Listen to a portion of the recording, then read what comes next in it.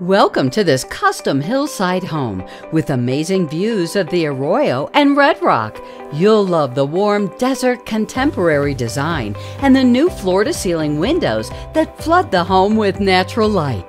There's a lower level walkout with plenty of entertaining space and access to your personal backyard oasis. Brian Dillman and Greta Wren would love to tell you more.